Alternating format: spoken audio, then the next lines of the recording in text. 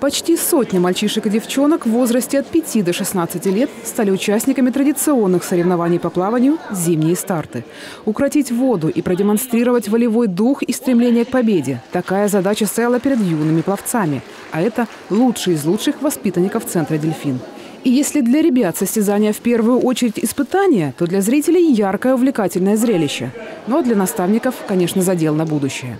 Мы смотрим, наблюдаем, доставляем мало того, что доставляем удовольствие самим детям, это соревнования серьезные, мы выбираем затем тех детей, которые сумеют заменить таких наших знаменитых ребят, как Крылова и Гирева. В программе зимних стартов заплывы на 50 и 100 метров брасом и вольным стилем, в зависимости от возрастных категорий. Соревнования проводятся по всем международным масштабам, и еще раз ознакомившись с правилами, ребята с легким волнением вышли на плавательные дорожки. Бастав! Без преувеличения все пловцы боролись за каждую секунду. Но победу удалось выбрать, конечно, сильнейшим.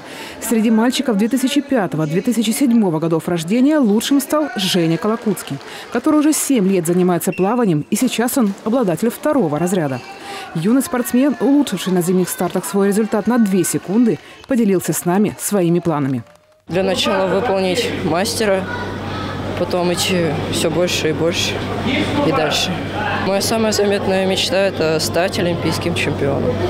А Наташа Рахвальская, преодолевшая дистанцию 100 метров вольным стилем всего лишь за 53 секунды, лучшая среди представительниц прекрасного пола.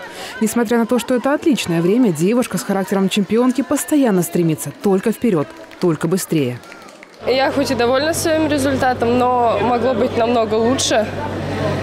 Надо было просто распределить силы. Плавание.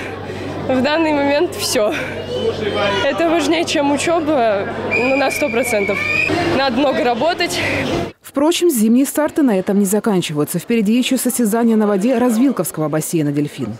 Екатерина Коваленко, Егор Хлябич, Сергей Ларин. Видное ТВ.